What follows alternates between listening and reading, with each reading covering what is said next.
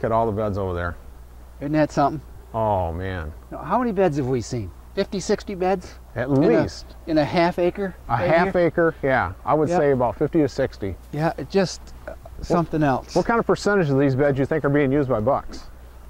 Well, I'm going to say uh, 10 to 20 percent. Now check this out. These are textbook beds here. Look how they lay up to, next to these trees. Yep.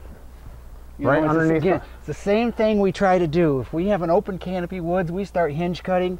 We lay these limbs down. There's a reason we do that. Because the deer are going to come up next to them and use them. They like to have a little cover. And look how they've got overhead cover right over the tops of their heads. Just exactly what we try to make for them. Yep. You know, they're doing. Man, look at all these in here. This is just really neat. In the conifers and the thermal cover. Jeez, how many there is? 1, 2, 3, 4, 5, 6, 7, 8, 9, 10, 11, 12, 13, 14, 15, 16, 17, 18. 18 deer beds right here. Crazy. you got a lot of food on this property, Jake, but with all the with all these deer though, it ain't gonna last long. It's not going to last long. It- You know, I, I think the word's out.